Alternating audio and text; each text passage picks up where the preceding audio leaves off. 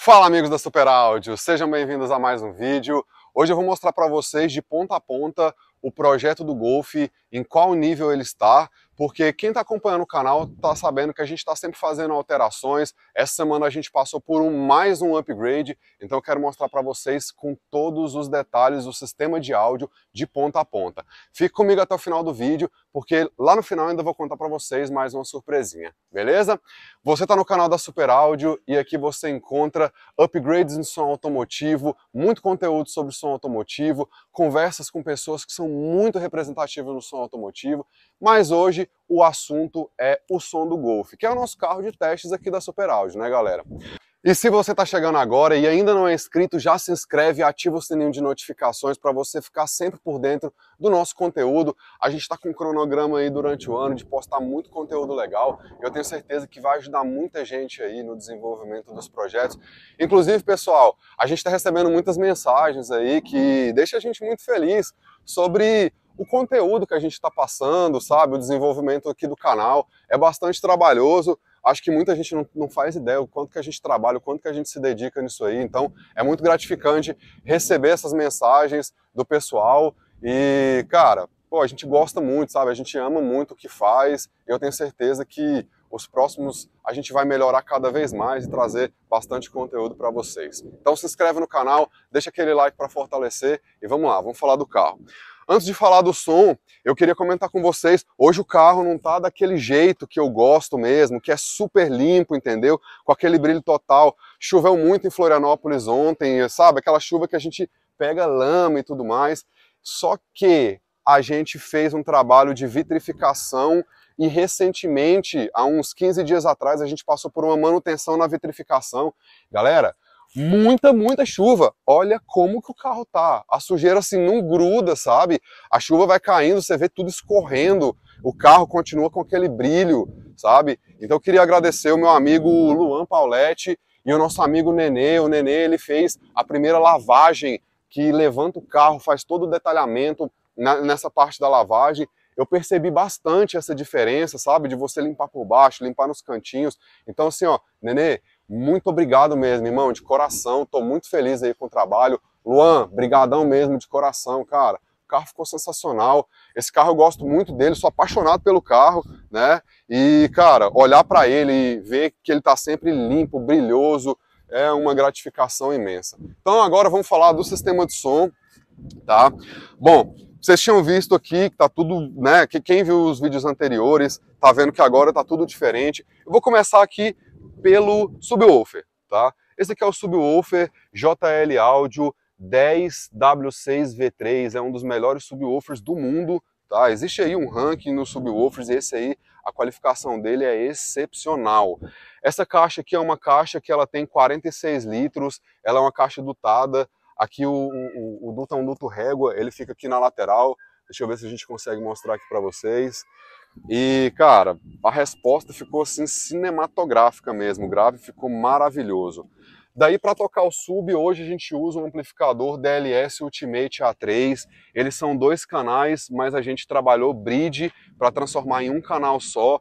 A gente imprime 950 watts RMS para o sub, que é um sub que suporta 650 nominalmente, mas a gente testando aqui, ele realmente, se botar mais, ele vem mais. Mas não é só potência, vocês sabem disso, é a qualidade mesmo, aquela sonoridade, aquele timbre bonito, empolgante, emocionante.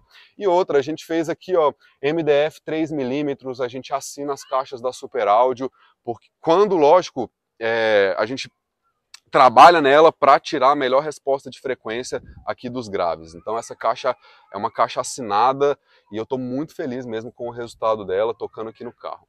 Para tocar o conjunto de alto-falantes da frente, que é o kit duas vias, a gente usa aqui o amplificador Arc Audio Signature SE.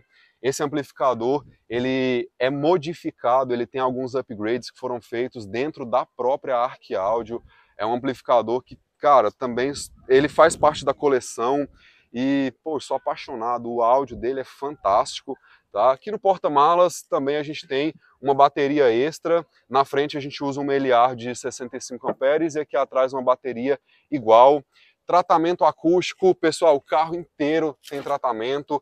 Aqui, ó, eu levanto para mostrar para vocês que a gente fez um revestimento com as mantas da Stereo Designs, não só aqui no assoalho, que aqui dá para ver melhor, né? Mas todo o carro ele tem esse revestimento. Na parte aqui, ó, tampa de porta-malas, na parte aqui, ó, teto também. O carro tá realmente bem rígido. Esse tratamento fez toda a diferença. Recentemente a gente passou ainda essa última parte aqui, que são esses pequenos painéis, que são possíveis para vibrar quando vem os graves mais energéticos. Então a gente fez questão aí de realmente tratar o máximo que a gente conseguiu do carro. Aqui na porta traseira também, ó, tá bem tratada, tem a camada de manta, tem algumas espuminhas ali que deixam é, não, não, não deixam a, o plástico encostar com uma outra superfície, porque quando o carro começa a vibrar com o som, isso aí pode gerar aqueles barulhinhos chato, aquele eu não quero um no meu carro, né? Convenhamos. As portas também, ó, bastante rígidas, né? Porque as portas da frente é a parte mais importante, vamos dizer assim, do projeto. Aqui é onde vem o mid-bass, Rodrigão, tenta focar aqui para ver se dá para ver lá dentro o Midbass amarelinho da marca Focal. É o KX2 da linha K2 Power. É um, um conjunto de alto-falantes da linha Elite da marca. Na parte dos tweeters, a gente está usando também os tweeters da Focal. A gente nesse momento está usando esses copinhos que são originais do kit para fazer posicionamento e direcionamento. A gente ainda vai passar por outros testes. Esse aqui está ok, mas assim não está 100% ainda do meu agrado. Vou mostrar para vocês ali o player, que é um Pioneer Carroceria P01. É a série japonesa da Pioneer. Também esse player foi escolhido a dedo para esse projeto. A gente fez vários testes. Eu achei que é, combinou muito bem, tanto na parte de áudio, mas também na parte estética, ele ligado, vamos ver se a gente consegue mostrar aqui para a galera, ele ligado, ele acende vermelhinho, isso, Rodrigão vai até baixar o som aí, né, devido aos direitos autorais, mas ele acende vermelhinho e tem um analisador de espectro, então isso aí combina bem com o painel do carro, ele é um CD player e também ele tem a entrada USB que a gente consegue conectar ou pendrive ou então o iPhone. Ó, ó, ó o microfone aqui caindo, ó. Ah, isso aí, galera, também é um, uma outra evolução do canal, né? Cês, não sei se vocês estão percebendo aí o nosso áudio, acho que está um pouquinho melhor. Quem percebeu isso, já dá um joinha, já comenta aqui embaixo se tem, tem percebido esses detalhes. Mas continuando a falar aqui do kit duas vias, além de desses testes ali com os copinhos no, no no painel. Eu quero testar eles como se fosse fazer coluna aqui, então eu vou tirar o Twitter ainda e vou levantar, vou colocar eles aqui na coluna para sentir. Mas, mas, nesse caso do Golf, como a gente já tinha usado aqui, ó, nesse triângulozinho do retrovisor, e já era o local original anteriormente, e a gente criou essa peça, eu acredito que os twitters vão voltar para cá, a gente vai trabalhar essa peça aqui para ficar assim, ó, realmente muito bonito e principalmente funcional em qualidade do áudio.